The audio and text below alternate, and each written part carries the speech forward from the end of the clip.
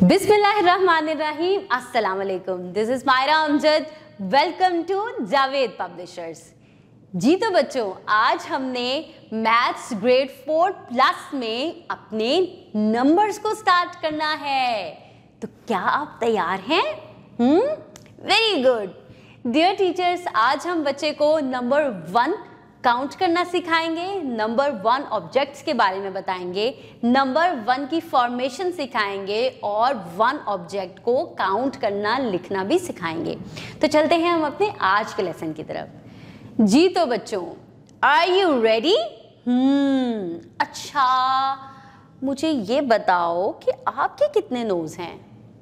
मेरा तो one knows है, इसके अलावा कोई नोज़ नहीं है। हम्म और आपको किसने पैदा किया? अल्लाह ताला ने। और अल्लाह ताला कितने हैं? वन। अच्छा तो आज का हमारा नंबर भी वन है। एक और चीज़ बताओ, कि ये क्या है? One sun. कभी आपने टू सन देखे हैं? जी तो बच्चों, पता है ना, जब भी आप दिन के वक्त आसमान की तरफ़ देखते हैं तो आपको वन सन नज़र आता है। लेकिन जब कभी रात को आप आसमान की तरफ़ देखते हैं तो वन मून नज़र आता है। कभी देखा है कि वन से ज़्यादा मून हो? नहीं ना, एक ही एक ही चाँद नज़र आता है। तो बस आज हमने नंबर वन के बारे में पढ़ना है। चलो अपनी बुक खोलो और बुक के पेज की तरफ़ गौर से देखो। ये तो मेरा फेवरेट फ्रूट है, मुझे बहुत ज़्यादा पसंद है। और पता है, जब मैंने इसको खाना होता है तो मैं वन नहीं खाती, वन से ज़्यादा खाती हूँ। लेकिन यहाँ पे तो सिर्फ़ वन है। हम्म इससे तो सिर्फ़ टेस्ट ही आएगा, क्योंकि मुझे मैंगोज बहुत पसंद हैं। ये मैंगो है ना? पता है ना ये मैंगो है? आप सबको भी बहुत पसंद होगा। कौन कौन बच्चा मैंगो खाता है? अच्छा आप मुझे ये बताओ कि आप कितने मैंगो खाते हो? मैं तो वन टू थ्री बहुत ज़्यादा खा लेती हूँ, क्योंकि मुझे बहुत पसंद है। लेकिन आप अभी छोटे हो ना तो मम्मा आपको वन मैंगो देती होंगी। कितना? वन वन आपका और वन आपकी सिस्टर का। अच्छा अब देखो ये वन मैंगो है। और इसके साथ क्या लिखा है?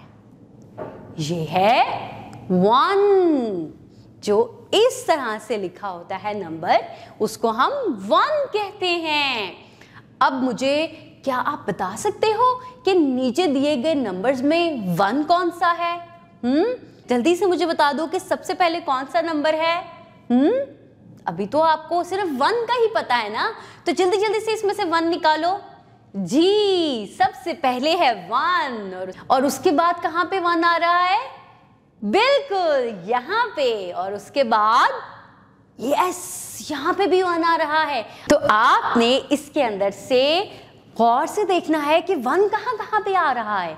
और उस वन को आपने इस तरह से पेंसिल की मदद से सर्कल कर देना है। सारे वन आपने सर्कल करने हैं कोई छूट ना जाए। ध्यान से देख लो कहाँ कहाँ पे वन है? और सबको सर्कल कर दो। चलो, अब हम नीचे चलते हैं। बुक के पेज पे देखो, ये क्या है? हम्म ये तो सुबह सुबह आती है और आपको स्कूल लेके जाती है। क्या है? बस और कितनी बस हैं? एक ही बस है। दूसरी तो नज़र नहीं आ रही।